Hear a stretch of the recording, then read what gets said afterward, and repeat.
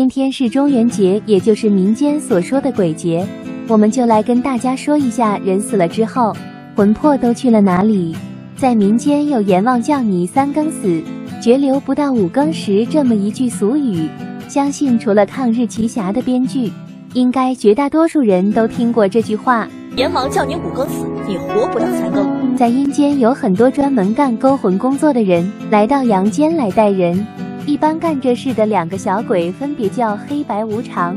阴间之所以安排他们干这个工作，是因为黑无常活着的时候叫范无咎，白无常活着的时候叫谢必安。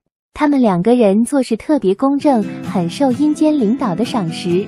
也许有的人会说了，那铁面无私的包青天不也很公正吗？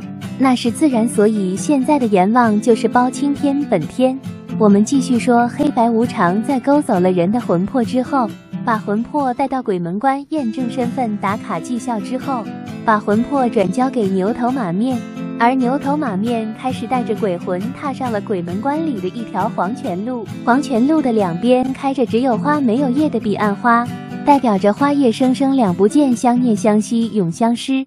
在黄泉路的尽头有一个很大的官府，这就是阴曹地府的重要组成部分——幽冥府。进了阴曹地府之后，一直向前走，有一座阎罗殿，而殿内正中央坐的阎罗王，就是我们所说的阎王。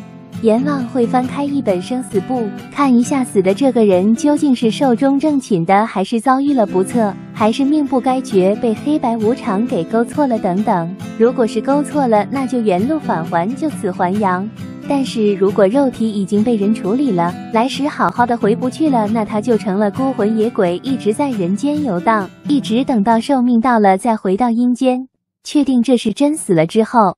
阎王开始细数他生前做过的事，如果是好事做得多，坏事做得少，那就给他安排一个差事在阴间打打杂。比如唐朝的崔珏就是这样做的判官。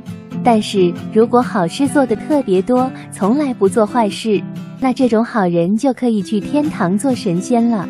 而如果坏事做的特别多，那就给打入十八层地狱了，永世不得超生。绝大多数人都是处于中间部分的。